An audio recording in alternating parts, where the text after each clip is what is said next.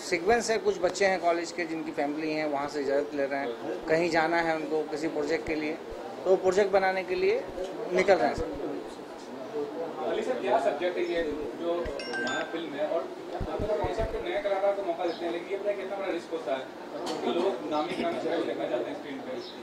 देखिए इनमें से कौन नामी और ग्रामी बनेगा मुझे नहीं मालूम। लेकिन अगर कोई बना तो कल आके मेरे पैर छुएगा बोलेगा सर आपकी वजह से बना। है ना? नामी ग्रामी को लेके तो सब काम करते हैं। लेकिन अगर इनको लेके काम करना जितना मुश्किल काम है उतना आसान भी है। इनको मुझे आगे बढ़ाना है मुझसे जुड़ते हैं मुझ पर भरोसा करते हैं मैं अपना वर्क करता हूँ। ये सिलेक्शन करते हैं आर्टिस्ट का ये क्या सिलेक्शन का तरीका क्या होता है कैसे सेलेक्ट करते हैं ये लोग अपनी इच्छा के अनुसार ऑडिशन वगैरह देते हैं। उसके बाद हम देखते हैं इनमें क्या कैटेगरी कर सकते हैं नहीं कर सकते कर सकते हैं तो प्लेटफॉर्म देते हैं नहीं कर सकते तो कोई बात नहीं। सर हमारे कैमरामैन हैं राज जी। राज जी। जी। राज़ी बताइए क्या कहना है? अली सर के बारे में नए लोगों को मौका देते हैं और हमेशा कुछ ना कुछ करते रहते हैं कुछ नया कुछ अलग। दिल बड़ा चाहिए तो ही मौका मिल सकता है। अली भाई के पास बहुत दिल बड़ा है यही मौका देते हैं और यही इनके लिए प्लेटफॉर्म बनाते हैं और इनको ऊंचाइयों पे ले जाते हैं। तो हैं अली भाई के साथ मैं पिछले छः साल से जुड़ा हूँ। अली सर एक ओटीटी का भी शुरुआत करने वाले हैं। क्या उसका फॉर्मेट रहेगा? किस प्रोजेक्ट उस पर अपनाएँगे? ओटीटी सब कमर्शियल प्रोजेक्ट रहेंगे। कमर्शियल रहेंगे और क्राइम बेस्ड रहेंगे। अच्छा अभी जो आप दिग्गज सिनेमा भी बनाने वाले हैं उसके बारे में बताइए। मेरी वन जवान शुरू होगी इसके बाद वो जल्दी शुरू होगी लेकिन जब तक माया कंप्लीट नहीं कर देता हूँ जब तक दूसरे प्रोजेक्ट पे हाथ नहीं डालता उसके बाद मेरी एक फ़िल्म मराठी भी है। जिसकी तैयारी चल रही है बहुत सारी। अभी नहीं बोलूँगा। माया हॉरर थ्रिलर है इसमें चार अलग अलग कहानियाँ हैं। क्लाइमैक्स में जाके ये जुड़ती है कि ये हुआ तो हुआ क्या? सस्पेंस ये भी कहना चाहूँगा कि काफ़ी मैं जानता हूँ आपको तो नए कलाकारों का मौका देने का ये मतलब तो नहीं कि आपने भी ट्राई किया एक्टर के तौर पे मौका मिला। मैंने ट्राई नहीं किया लेकिन मुझे ज़बरदस्ती एक एक्टर बनाया जा रहा था। मेरा एक दोस्त है एंड्रू करके। बड़ा प्रोजेक्ट था नाम नहीं लूँगा और बहुत बड़े लेवल पे था। एक नेता का कैरेक्टर के लिए मेरे को उसने अपॉइंट किया था बट मैंने गया नहीं। उसने बोला कल तेरा शूटिंग है लेकिन मेरे को इंटरेस्ट नहीं था। मुझे बनना है डायरेक्टर तो मैं वही अपने फ़ील्ड में कदम रखूँगा। तो एक्चुअल में मैं आपको अब एक मेन चीज़ बताता हूँ कि नए लोगों को काम देने का मतलब है इनका विश्वास रखना। इंडस्ट्री में 90 परसेंट फ्रॉड है। मैं अपना वर्क करता हूँ, इन लोगों को जितना ट्रेनिंग दे सकता हूँ, देता हूँ, उसके हिसाब से उनको वर्क देने के बाद स्टैंड करता हूँ। आगे इनकी किस्मत। Yes yes yes Lucknow, Allahabad, Bihar, Kashmir, Punjab X Y Z all over India M P वो सब इंट्रोडक्शन देंगे आपको। बिल्कुल बिल्कुल।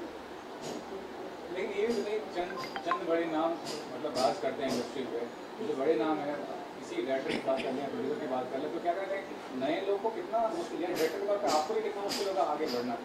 जब इतने सालों से न वही स्टार्स काज कर रहे हैं, वही प्रोड्यूसर्स वही डायरेक्टर्स आपका सवाल बहुत अच्छा है।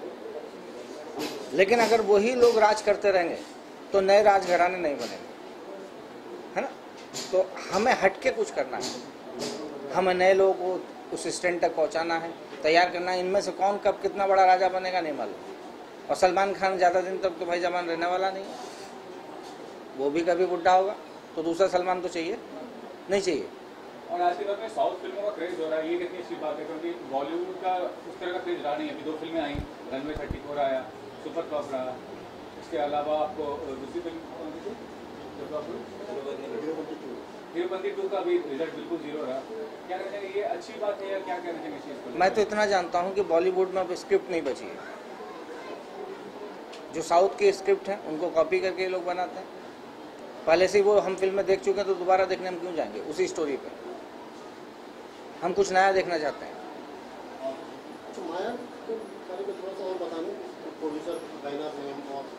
अच्छा माया फ़िल्म का डायरेक्टर प्रोड्यूसर मैं बी एस अली और बैनर है green world media production media production music भी है यस म्यूज़िक भी है? ज़्यादा नहीं है दो गाने हैं।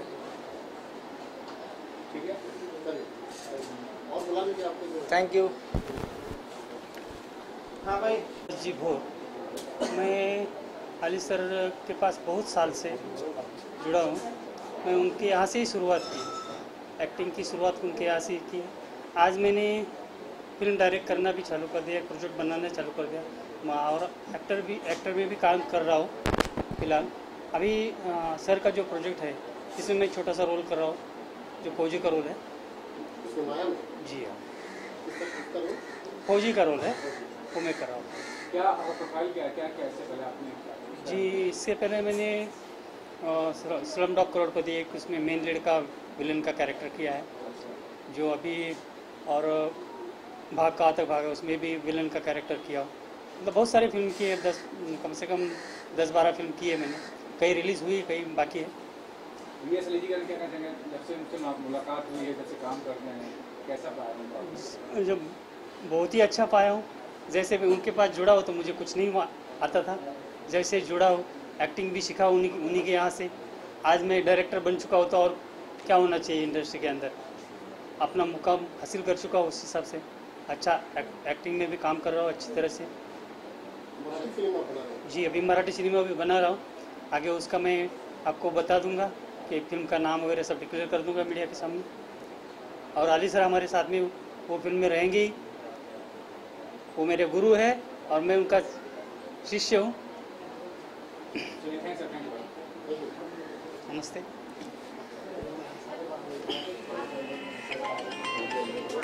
भेजिए। थोड़ा सा के बारे में क्या किरदार है और अली सर के बारे में क्या कहना चाहेंगे? मेरा नाम सुकेश सुकेशना ज्ञानबा हनवते है। और मैं नवी मुंबई सानपाड़ा सेक्टर पास से आई हूँ। अली खा अली सर से मैं धन्यवाद करना चाहती हूँ कि मुझे फ़िल्म में ऐसा है कि न्यूज़ के सहारे न्यूज़ में ऐड आई थी ना? तो ऐड के सहारे में इनके साथ जुड़ गई। मैं यही चाहती हूँ कि अली के सर अली सर के साथ अच्छा सा काम करूँ और उसका नाम रोशन करूँ उनका। और के बारे में क्या किरदार है और जी। मेरा नाम सोनिया सिंह है, मैं दिल्ली से बिलोंग करती हूँ और सर के थ्रू मुझे इस मूवी में मौका मिला है वर्क करने का। मैं लीड रोल का निभा रही हूँ और सर के साथ में वर्क करने के लिए बहुत ही ज़्यादा एक्साइटेड हूँ। बहुत ही, सर बहुत ही अच्छे हैं। जो वर्क करना चाहता है, आगे बढ़ना चाहता है, उसको सर सपोर्ट करते हैं। और मैं चाहती हूँ कि सर ऐसे ही सपोर्ट करते रहे और हम लोग आगे बढ़ते रहें। तो पहला प्रोजेक्ट कर रही हैं आप या पहले कुछ किया आपने? जी नहीं मैंने पहले एक मूवी किया है हॉरर मूवी है ये ताकत हिक्स की और ये सेकेंड में आप बताइए नाम बताइए और इस फ़िल्म के बारे में बताइए और क्या रोल है और अली सर के बारे में क्या कहना है? मेरा नाम वैष्णवी है मैं अहमदनगर से हूँ। और न्यूज़पेपर में एक ऐड आई थी तो मैंने ना सर को कॉल किया था सर ने ऑडिशन के लिए बुलाया। तो फिर मैंने ऑडिशन दिया सर ने कहा कि अच्छा किया है ना। और सर बहुत अच्छे है कि सर ने मुझे इस फ़िल्म में चांस दिया है। मैं अपने कैरेक्टर को लेकर बहुत एक्साइटमेंट हूँ और मुझे बचपन से एक्टर बनने का शौक था और मैं इस, मैं क्या फ़िल्म इंडस्ट्री में आना चाहती थी और अब मेरा सपना सर की वजह से मैम की वजह से पूरा हो रहा है, इसलिए मैं उनको थैंक यू कहना चाहती हूँ। और मैं अपने कैरेक्टर को लेकर बहुत एक्साइटेड हूँ, मैं बहुत अच्छे से करूँगी। मेरा नाम दिव्या है, मैं अहमदनगर से बिलोंग करती हूँ और मुझे फ़िल्म के बारे में वैष्णवी ने बताया तो मैंने मैम को कॉल किया था। तो उन्होंने बोला आप सर से बात कर लो। और मुझे सर के साथ फ़िल्म करने का बहुत शौक था। तो फिर अभी मैं अपना कैरेक्टर अच्छे से निभाऊँ थैंक यू जी सर मेरा नाम दीपक कुमार है। गुजरात जामनगर से बिलोंग करता हूँ। सर से मेरा कॉन्टेक्ट हुआ। तो उसने मुझे यहाँ आने का मौका दिया और मैं दिल से अली सर का आभारी हूँ। Thank you My name is Pawan. I came from Vijayanagaram, nearby Visakhapatnam. And I have seen the uh, uh, advertisement by Kikarna. I, call, I, I talked to Ali sir. Uh, first time I, I don't believe the people. Now I am here now. I, uh, I happy. I, I, I- have to happy to say Ali sir was selected to me uh, Hindi film. Uh, okay, thank you. My name is Yusuf Bhadodia from Kulgam. I meet you tutor. Uh, so I can be sir and audition of the Mumbai और गुरेगांव तो मैंने audition दिया so sir ने मुझे select किया। मैं उस काम को अपने उसी तरीके से कर रहा हूँ। मैं आई होप यू कि मैं उस काम को और अच्छी तरीके से कर सकता हूँ सर ने मुझे चुना सो थैंक्स मेरा नाम सावरिका पाल है और मैं भांडुप से आई हूँ।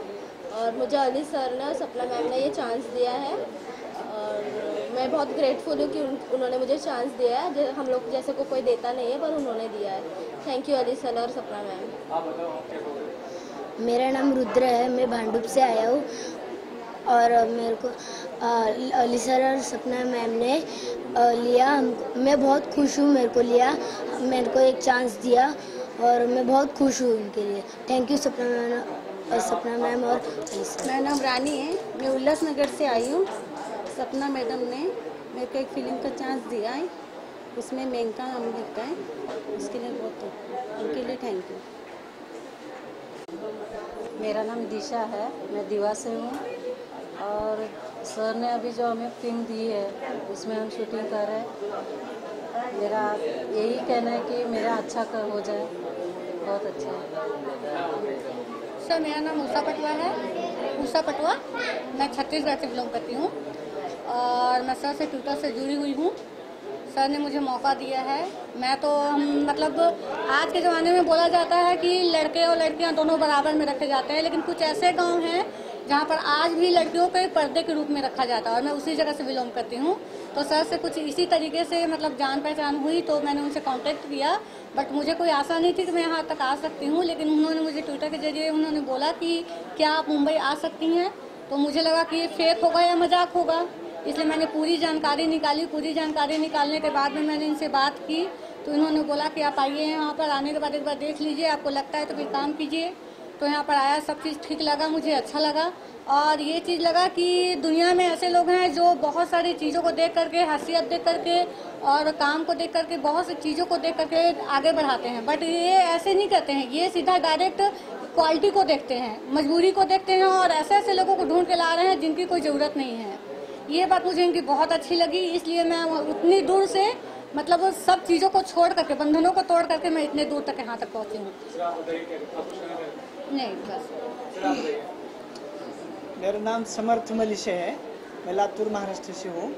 पेपर में ऐड देख करके मैंने कांटेक्ट किया था और उनसे जुड़ा हूँ।